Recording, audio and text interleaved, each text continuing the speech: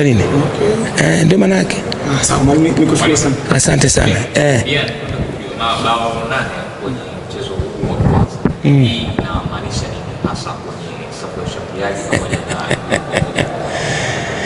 labda niseme tu kwa kifupi ni kwamba sisi tumetrain, tuna train kila siku kufanya vizuri.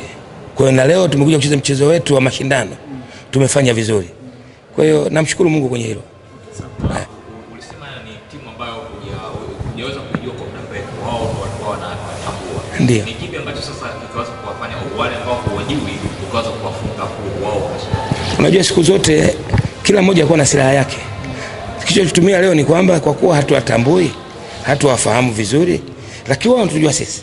Na sisi tuna silaha zetu, basi cha msingi ni kwenda kwenda kutumia silaha zetu ambazo tuna train kila siku, tukazione tunaweza kufanya kwa mtu ambaye hatumjui. Ndio tafsiri yake. Eh.